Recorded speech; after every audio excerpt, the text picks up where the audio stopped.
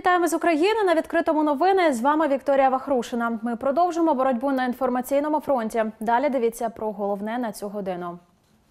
160 коктейлів дорівнюють дрону. Одна з кав'ярень Дніпра готує благодійні напої. Виручені кошти на квадрокоптер для ЗСУ. Пригощають гостей авторським махіто. Його додали в меню тимчасово, поки не зберуть на бойову пташку. Гроші планують зібрати за два дні. Разом з благодійниками смакувала освіжаючим напоєм і наша Анастасія Вільхова.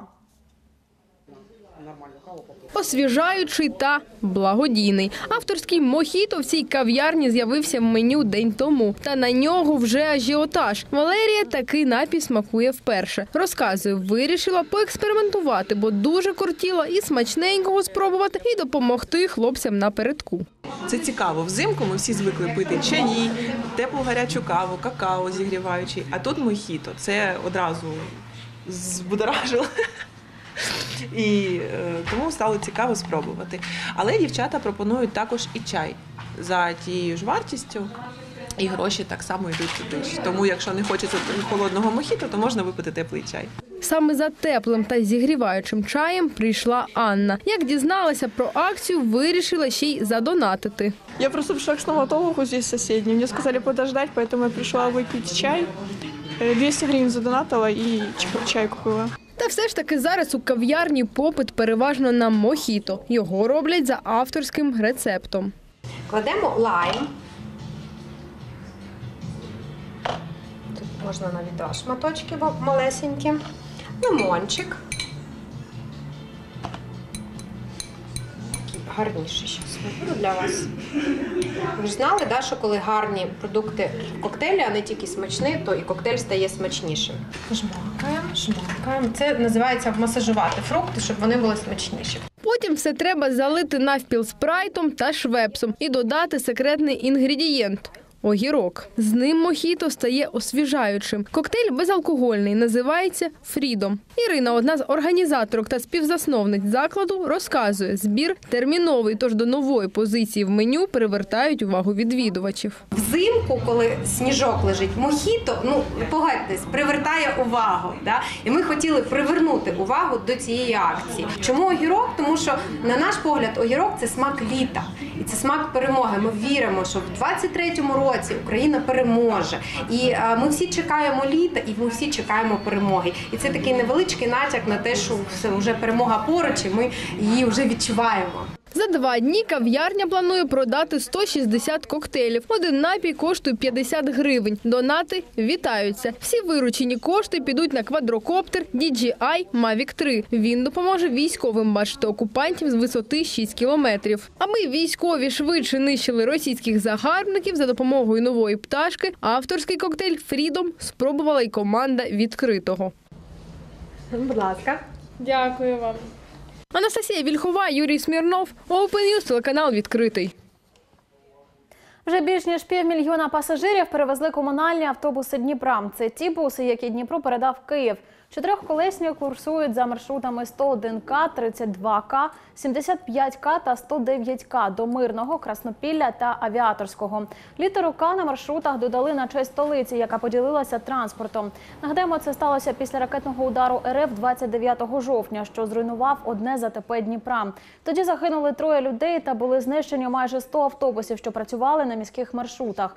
За майже три місяці столичні буси вже перевезли 600 тисяч пасажирів. Вони великі з низькою підлогою і пристосовані для людей з інвалідністю та матерів з візочками. Зазначимо, незабаром у комунальних автобусах з'являться QR-коди для оплати проїзду. Сейчас работают маршруты 32К, э, 75К и 109К. Э, В ближайшее время мы планируем открыть еще три маршрута. Это на Игрень, Приднепровск, э, на улицу Широкая. Каждый автобус может перевозить одновременно в районе 80 э, человек. Понад 800 адмінпослуг надали минулоріч мобільні ЦНАПи на Дніпропетровщині. Нині в регіоні 33 пересувні кейси. Про це повідомили в обласній військовій адміністрації. У кожному є ноутбук, принтер, ручний сканер, щитувач інформації з ID-карток, павербанк, Wi-Fi роутер та веб-камера. З таким набором спеціалісти виїжджають додому до тих мешканців, які не можуть відвідати стаціонарний центр адмінпослуг. Завдяки міжнародним партнерам торік Дніпропетровщина отримала сім мобільних валіз. Вони доступні мешканцям 25 п'яти громад регіону. У 2022 році у топі найпопулярніших послуг були реєстрація місця проживання, оформлення пільг та субсидій, отримання витягу про земельну ділянку, послуги для ВПО, компенсація витрат за комуналку людям, які надали прихисток переселенцям. Загалом зараз в області працює 201 точка доступу до адмінпослуг. У держави 3 мільйона. У Дніпрі судитимуть членів злочинного угруповання, які розкрадали державний бюджет, зловживаючи службовим становищем. Про це повідомили у прес-службі прокуратури Дніпропетровської області.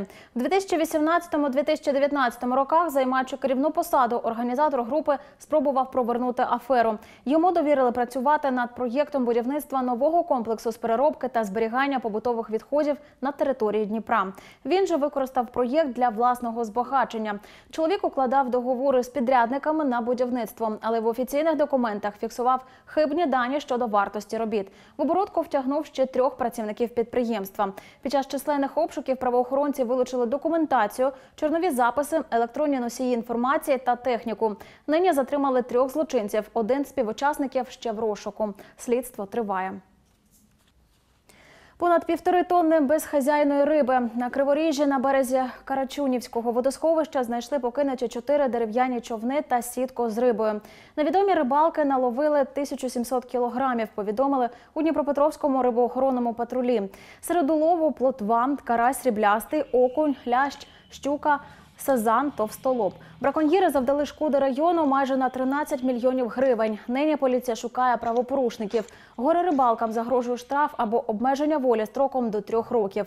Знайдену рибу передали підприємцю, з яким укладено договір про зберігання продукції.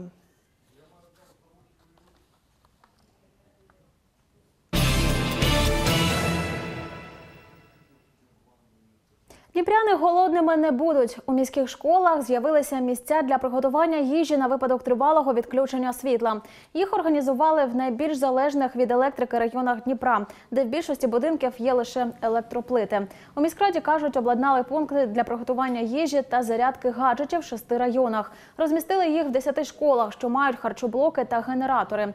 Прийти та приготувати щось поїсти можна буде у разі понад восьмигодинного знеструмлення мікрорайону чи аварійної ситуації. Адреси шкіл на екрані.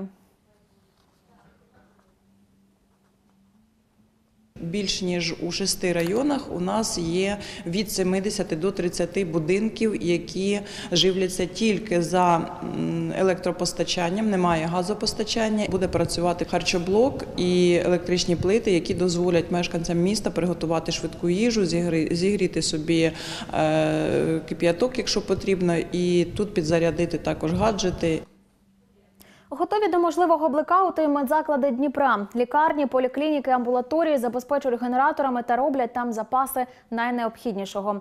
Вже зараз встановили 73 альтернативних джерел живлення. У профільному департаменті міськради кажуть, у разі масштабного знеструмлення лікарі зможуть повноцінно працювати, виписувати електронні рецепти, направлення, користуватися базами даних. У їхньому розпорядженні також запаси ліків і вакцин. У строю і санітарний транспорт міста. Майже три сотні автомобілів готові надавати невідкладну допомогу пацієнтам. КП автопідприємство санітарного транспорту також оснащене чотирма генераторами. Проінспектував одну з найбільших лікарень нашого міста. Створені запаси питної води близько 2 тонн, 9 тонн технічної води. Це по всіх відділеннях. Е, Розміщені ємкості з водою. Є запас належних продуктів на тиждень, якщо потрібно буде зроблені більші запаси, і продуктів швидкого приготування і довготривалого зберігання.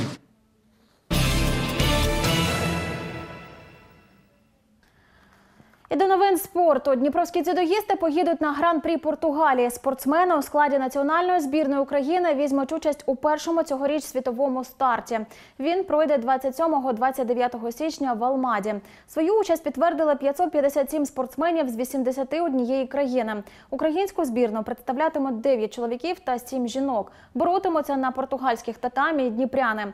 У вазі до 73 кілограмів Олександр Кошляк. У категорії до 78 кілограмів виступить бронзова призерка минулорічного чемпіонату світу Єлизавета Литвиненко. А у вазі 78 побачимо Руслану Булавіну. До гран-прі Португалії наші дзюдоїсти готувались в міжнародному тренувальному таборі в Австралії. На цьому в мене все. Зустрінемось у наступному випуску новин на відкритому. Українці, ми сміливі, вільні і нами пишається весь світ. Тримаємося разом.